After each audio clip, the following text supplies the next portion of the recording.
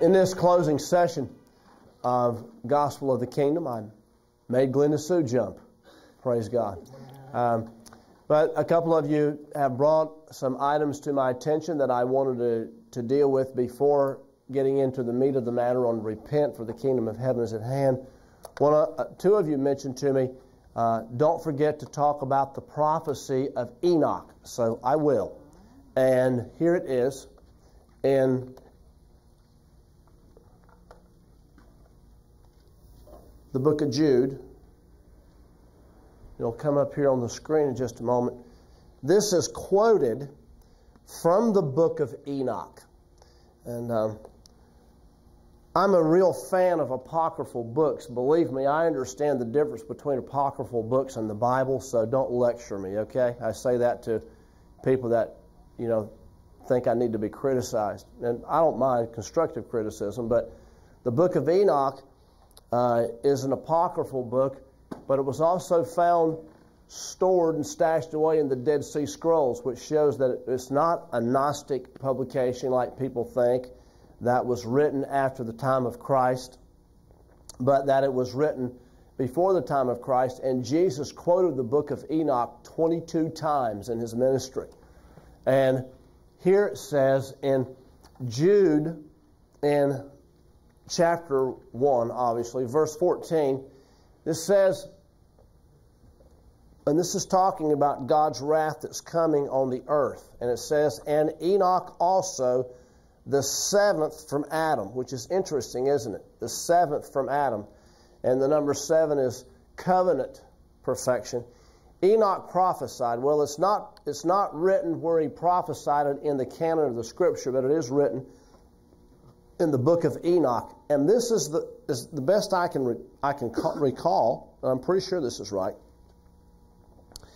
This is the first recorded prophecy of any man in the Bible. I mean, Adam didn't prophesy of anything that was coming to pass, neither did Seth, and, you know, Methuselah, whatever, all the, but this is recorded that a man prophesied. Uh, Enoch the seventh from Adam prophesied of these, saying, Behold, the Lord cometh with ten thousands of his saints. This is recorded in Enoch chapter 1, I believe, verse 8. But anyhow, uh, it says to execute judgment upon all and to convince all that are ungodly among them of all their ungodly deeds which they have ungodly committed of all their hard speech which ungodly sinners have spoken against him. And it goes on to talk about people that will be judged. But I think it's very, very interesting that this prophecy is about the Lord coming back to the earth with ten thousands of his saints. This is what Revelation chapter 19, verse 12, I think, is talking about. That where the Lord comes out of heaven with the armies. And then on into verse 14, with the armies that follow out of heaven on white horses with him, clothed in fine linen, bright and clean.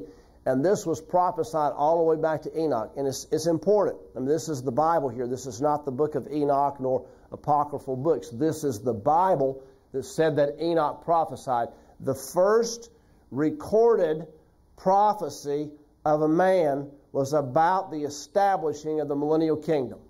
Yes. You hear that?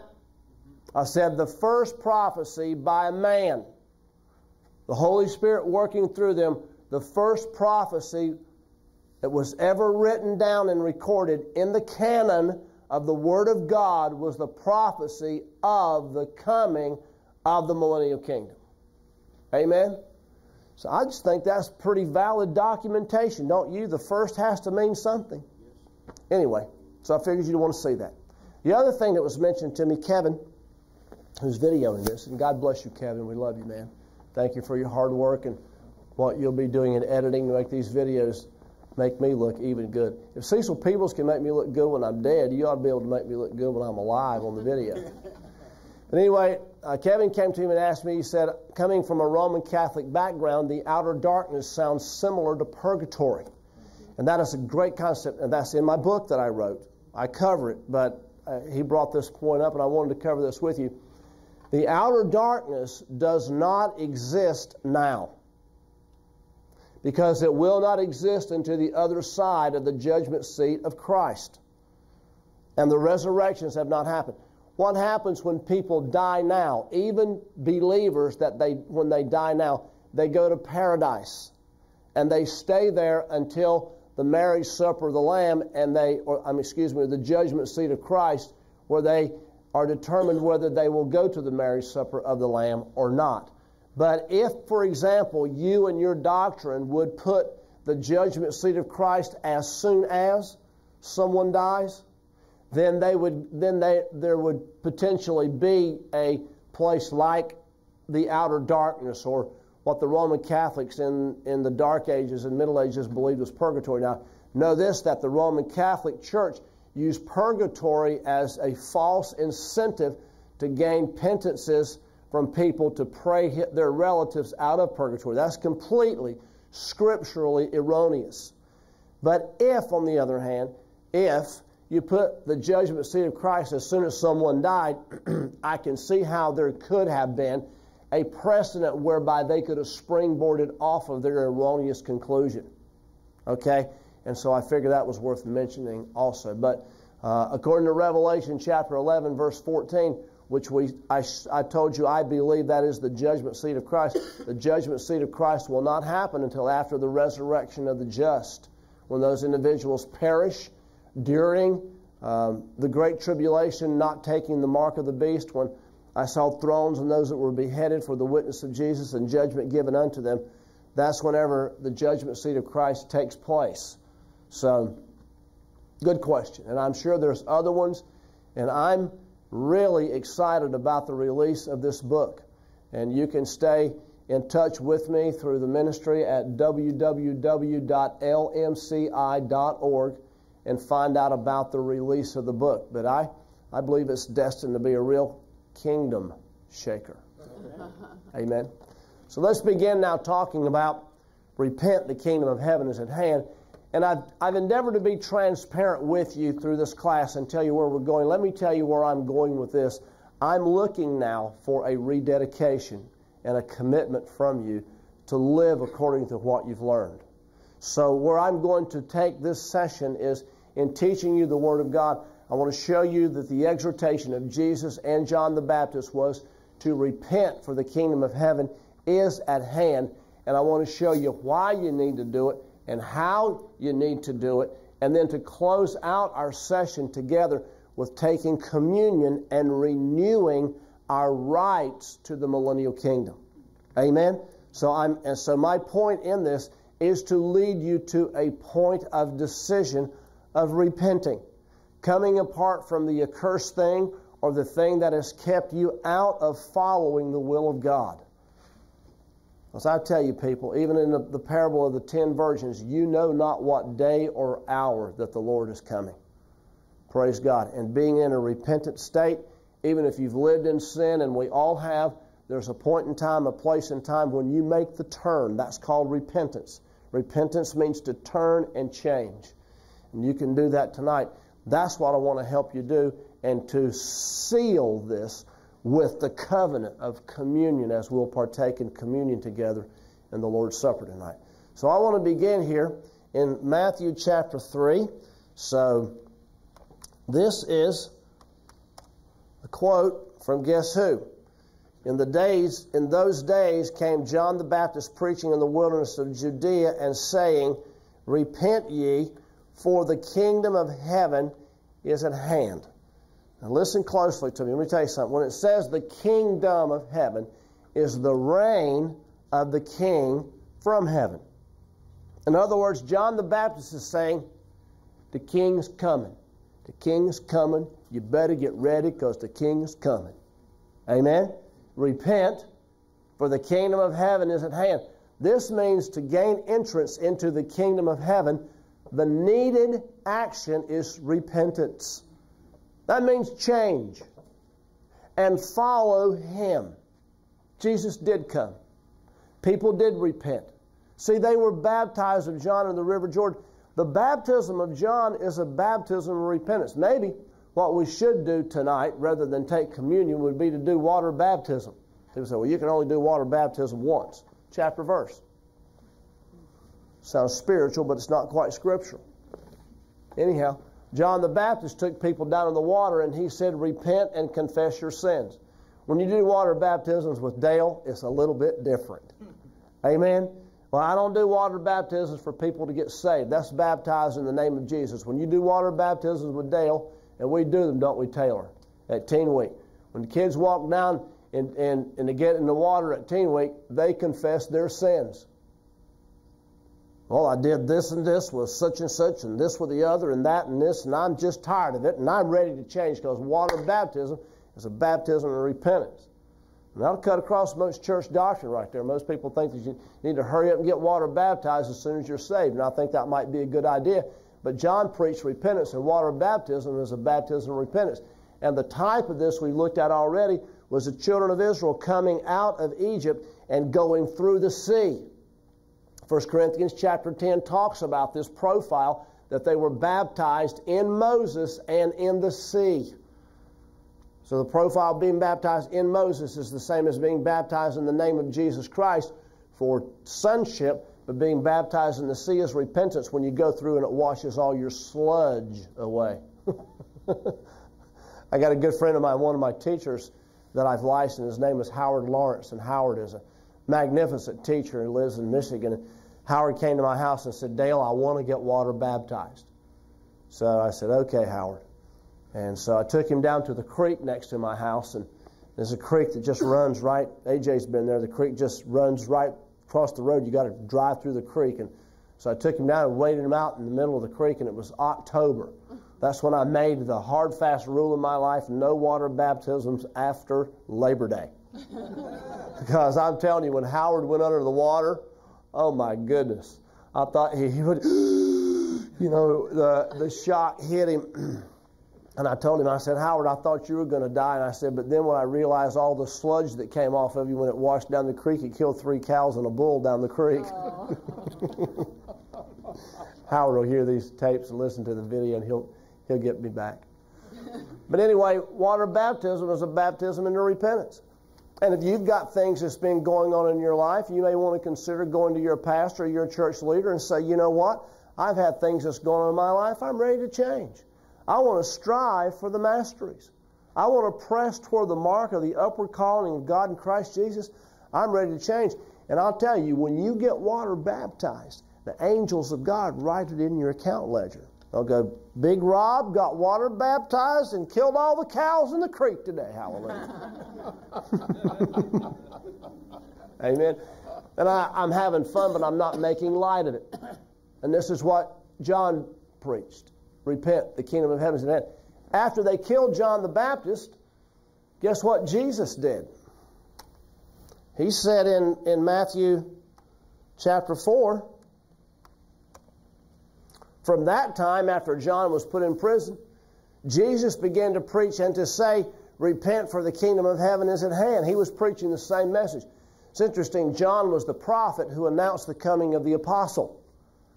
Once the apostle came, the new light got shed abroad and people understood, but the prophet announces the apostles. Interesting. Might not cost you anything extra, but it's still true. But Jesus preached the same thing repent. In other words, what he said, this is what I'm saying. I want you to change tonight, right now. I don't want this teaching to be mental gymnastics and jump through hoops and to be an exercise in rhetoric and knowledge. I want this to be a life changing experience for you and for you to change. And the Holy Spirit bears witness with your spirit of what you need to change in doing. Now, maybe you're saying, there's nothing I need to change. Well, praise God. And I hope you're living that close to the Lord. But if there is something in your life that you feel like that whenever you stand before the Lord that it will come up, you need to put it down. You need to let it go. And this is what repent means. And that is to turn and change and walk a different way.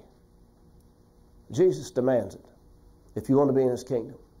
And you know what? It may not be repent just today. It's going to be repent that repentant lifestyle for the rest of your life.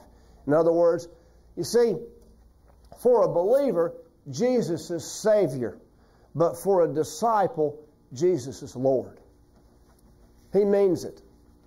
It's really, really true. When you confess Him as Lord, He wants you to live it. And see, we love Him and we want to follow Him. And the fact of the matter is, He's just smarter than us. The greatest lie that's ever been palmed off in the world was when Satan said to Eve, Ye shall be as gods, knowing good and evil. And you do not. I do not. You are not smart enough to judge between good and evil.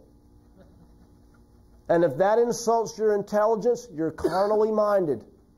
You think you know the difference between good and evil. No, you do not. You need God to tell you. Now, He's told us in His written word, but we have the cloud by day and the pillar of fire by night to teach us what we need to do to stay in His good graces and in alignment with His kingdom. Praise God. Now, in John chapter 16, verse 7, Jesus said, I tell you the truth. It's expedient, necessary for you that I go away, for if I go not away, the Comforter will not come unto you. But if I depart, I will send him to you, and when he is come, he will reprove the world of what? And of what? Righteousness and of judgment. Of sin because they believe not on me. Of righteousness because I go to my Father and you see me no more. Of judgment because the prince of this world is judged. It's interesting. Of judgment because the prince of this world is judged. Let me ask you a question. When will the prince of this world receive the first punitive action from God? When will he be punished? The thousand year reign, he'll be chained. And this is what the Holy Spirit is witnessing to you too. While he's chained and when he's been judged, you're supposed to be free. And that's what the Holy Spirit was sent to teach you about. Why? Because I go to my Father. And what? Then he's coming back. Hallelujah and of sin to get you into that kingdom. This is the purpose and the ministry of the Holy Spirit to go get Jesus a bride. To go get him a bride. So repent. He reproves you of sin. He reproves you of righteousness because Jesus goes to the Father. You are righteous. You are supposed to be righteous to live in that kingdom and of judgment because the prince of this world is judged. He will be chained in the thousand year reign while the Holy Spirit has prepared you to be in it. And you believe that's right there in John chapter 16? And it's all about the ministry of the Holy Spirit to prep you for the millennial kingdom. I have read John 14, 15, and 16 so many times, but when this has jumped off the page at me, it's all the ministry of the Holy Spirit to prep you for the millennial kingdom. To live holy now. This is His kingdom. To give you righteousness, peace, and joy in life now, but to prepare you for the coming kingdom. Repent. What does repent mean? Very simply, it means do what the Holy Spirit says. And the Holy Spirit will tell you to do what the Bible says, and then He'll give you the specifics what the Bible doesn't cover. In other words, the Bible doesn't say, Thou shalt not rent X rated videos. But the Holy Spirit does. And the Holy Spirit will tell you the specifics of what you need to do. You know, brother, I'm just thinking in my life, I'm looking back at, at Pastor David and thinking about the, the qualifications to lead people. And one time in my life, and I don't mean to bring up sin, but just to, to bring up the deceit of the devil and not to magnify him, but to show you just how slick and tricky he is. One time in my life, I knew a very great man, one of my teachers, and the devil so deceived him that he considered it an okay practice for him to have a, to commit adultery, and he just sexually abused and and had adultery with just so many women, and he took that sin with him to the grave. And it's all the lie of I'm the exception. That's it. It all goes back to that. And of course, iniquity of lust and other things of this nature. And God have mercy on him, I'm, and, and may God count what he's done for me. And, and the Bible does say if you help a man escape his sins, then you'll hide a multitude of your own. And, but anyway, that's God's business to judge him. But the point I'm after here is God's no respecter of persons, and he that doeth wrong shall receive for the wrong that he's done. And I told you, I've been transparent, that I want this particular session to be a point of decision for you of repentance and of change. And a time for the Holy Spirit to search your heart, to reprove you of righteousness, of sin, of righteousness, and of judgment. Amen? See, I tell you what, uh, it says in the Bible that I was young and now I'm old. Yet I've not seen the righteous forsaken nor his seed begging bread. I've been young and now I'm older. And I know what it's like to go through periods of youthful lust. I say this to you, handsome teenage boys and beautiful young women that are here. I know what it's like to go through periods of stupidville. I know what it's like to lust after things of the flesh. But you know what? God wants you to depart from the unclean thing. Come apart from the accursed thing. Cleanse your hands, you sinners, and purify your hearts, you double minded. The Word of God exhorts us. So that's what God wants you to do, to repent. Now, in addition to repenting for what you have done wrong, there's another stipulation I've been saving to teach to you, and that's out of Matthew chapter 25, and that is to not get you to do to not just to get you to quit doing what's wrong, but to get you to doing what's right.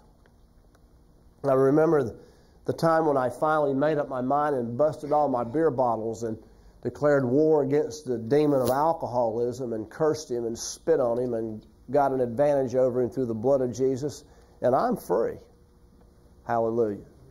But I'll never, and after I'd been free and I'd quit drinking for a couple of months, I was praying one day and the Lord said to me, Well, now that I got you to quit doing what you're not supposed to be doing, now I can work with you to do what you're supposed to be doing.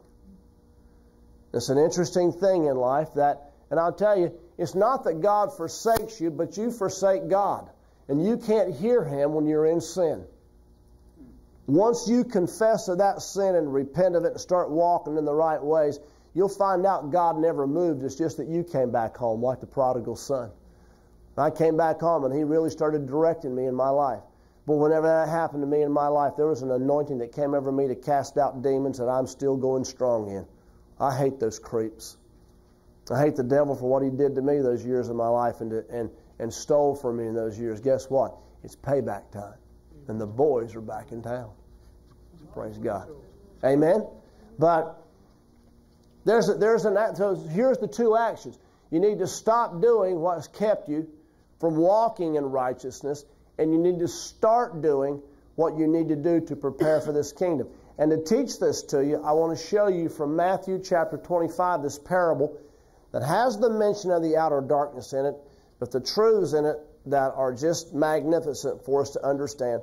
Notice this for the kingdom of heaven. See this parable? This is dealing with the millennial kingdom. This is the cloaked truth to those who do not have eyes to see, and that's not you. You have eyes to see. The millennial kingdom.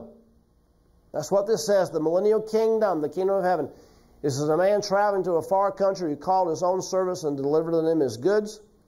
And the one he gave five talents to another two and to another one. Watch this closely to every man according to his several ability. Straightway he took his journey. And he gave to every one according to their ability. You know, if God gave you a lot of talents, it's because you've got the ability to develop them. whom much is given, much is required. I think about this when individuals say, Boy, Dale, you're really going to be rewarded in heaven or in the kingdom of heaven. Well, I hope so. I hope it's a big payday. But, you know, God doesn't view people the way people view people. God views people the way He does, Jesus said about the widow's mite. It's not what you have, it's what you do with what you have. And God gave to these, in this parable, the ability, the, the talents were given to people according to their several abilities. So he gave five to one, he gave two to another, and he gave one to another one, and then he left. And see, this is exactly what we're dealing with with Jesus in his, in his absence now. He took his journey. Then he that had received the five talents went and traded with the same and made them other five talents. Likewise, he that had received the two, he also gained another, gained other two. It's interesting. I, will just throw this out here since I deal with people that is of biblical acumen here. If you'll study the word traded and made and the word gained, there's a great revelation in those three words because it shows the level of aggressive trading. Amen? The guy that had five really went after it. The guy that had two, well, he sort of went after it, but not the way the guy that had five did. Anyway, just they're different words. They mean different things, but anyhow. Verse 18, And he that had received one went and digged in the earth and hid his Lord's money. So got the picture? Five made ten, two made four, one hid it. Verse 19, After a long time the Lord of those servants cometh and reckoneth. reckoneth with them. So he that had received five talents came and brought other five talents, saying, Lord, thou deliveredst to me five talents. Behold, I have gained them. I have gained beside them five talents more. Verse 21 The Lord said unto him, Well done, thou good and faithful servant. Thou hast been faithful over a few things, I will make thee ruler over many. Enter thou into the joy of thy Lord. Now, when we read this in Luke chapter 19, it says, Enter into the kingdom that He's prepared for you since the foundations of the world. So that is the joy of entering into that kingdom. Amen? But it says, it's interesting, it says, Well done, good and faithful servant. I think about this whenever we talk about being un, in, uh, under, the, under pressure and in heat. It's like being in a pressure cooker, and then the Lord checks and opens the top of the pressure cooker and says, Well done. You're thoroughly cooked. You're finished. You're not raw or rare anymore. Well done. Hallelujah. well done, good and faithful servants. And see, enter, see, enter, enter into the joy of thy Lord. Verse 22. He also that had received two talents came and said, Lord, thou deliverest me the two talents. I've gained two other talents beside them. His Lord said unto him, Identical thing. Well done, good and faithful servant. Thou hast been faithful over a few things. I'll make thee ruler over many things. Enter thou into the joy of thy Lord. And it's no accident that Jesus said the same thing in verse 21 as he did in verse 23, because it's really not important in regard to his judgment of what talents you have. It's what you did with what you have.